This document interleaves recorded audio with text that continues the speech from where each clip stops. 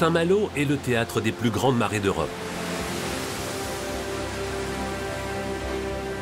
Quatre fois par an, la mer déborde sur les quais et vient frapper les digues.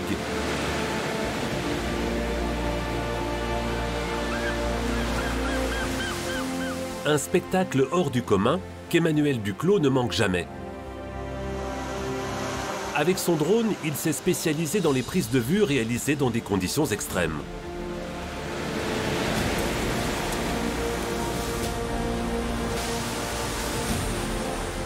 En drone, on essaie d'être assez proche euh, justement des vagues et il y a le phénomène de ressac qui est assez dangereux. Il faut surveiller tous les éléments et quand tout marche, euh, c'est bien.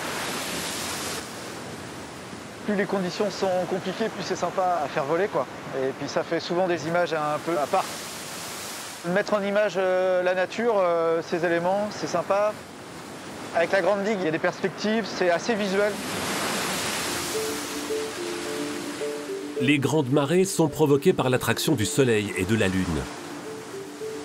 La différence de hauteur entre la marée basse et la marée haute est alors plus forte que d'habitude. Elle peut aller jusqu'à 13 mètres. Les coefficients de marée sont très élevés.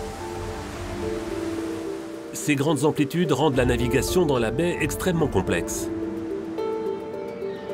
Dès qu'un bateau de plus de 45 mètres veut rentrer ou sortir du port, il doit être accompagné. En jockey, bonjour François. Donc euh, pilote à bord, tirant d'eau 3,80 m, destination Ribadel en Espagne. Julien est pilote à Saint-Malo. Après avoir parcouru le monde comme officier dans la marine marchande, il est revenu dans son port d'attache.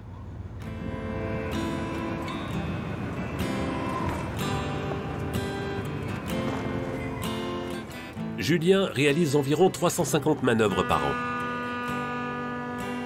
c'est presque tous les jours de l'année. Je pense que si on ne se lasse pas de ce métier qu'on exerce quand même pendant plus de 25 ans, c'est que euh, chaque manœuvre est différente, alors pour tout un tas de raisons. Mais c'est vrai qu'à Saint-Malo, euh, la force des marées est telle qu'on est toujours obligé de rester sur le qui Sa connaissance de la baie est un atout. Il maîtrise les courants et sait où sont les îles et les récifs, même quand on ne les voit pas la spécificité du port de Saint-Malo, c'est d'avoir des grands mouvements de volume d'eau et donc forcément des courants assez euh, inhabituels et forts.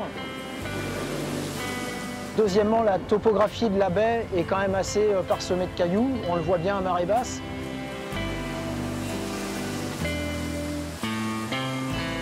Au temps de la marine à voile, ça devait être des challenges encore plus importants qu'aujourd'hui les commandants devaient être quand même euh, particulièrement avisés et choisir bien leur créneau pour rentrer au port sans aller au naufrage vu le nombre de cailloux qui existent. Et je pense qu'il y a eu pas mal de naufrages, notamment d'anglais.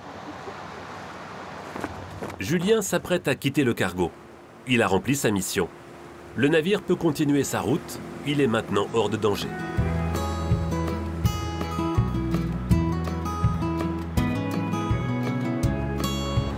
La mer remonte les brise-lames se tiennent prêts à protéger la ville des assauts répétés des vagues.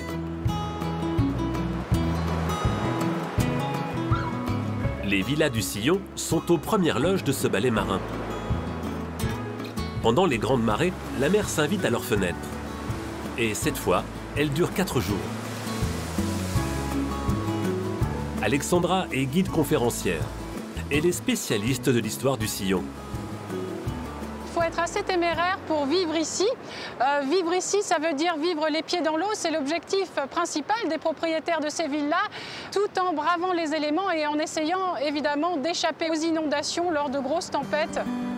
C'est un banquier parisien qui découvre le sillon en 1875. À l'époque, il n'y a que des dunes et des moulins. Il achète alors des terrains pour les revendre. En à peine 5 ans, 150 villas sortent de terre. En 1905, 300 mètres de digues sont emportés par les eaux. Les architectes rivalisent d'ingéniosité pour tenter de protéger les constructions. Cette ville-là s'appelle la Suédoise et elle a ce qu'on appelle un soubassement. C'est l'endroit où on va faire travailler les domestiques, mais c'est aussi quelque chose qui va permettre de surélever les étages à vivre et donc, en cas de grosse mer, eh bien, on va échapper à une inondation.